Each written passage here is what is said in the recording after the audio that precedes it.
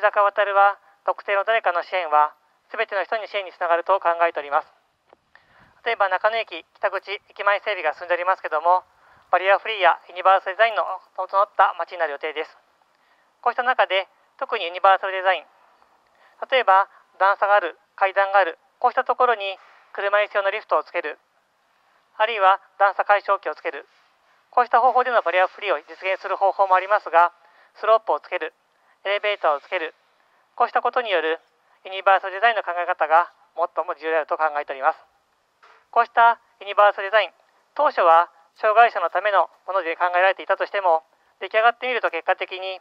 ベビーカーをして出かけられるお父さんお母さんやカートをしてお買い物に出かけられるご高齢の方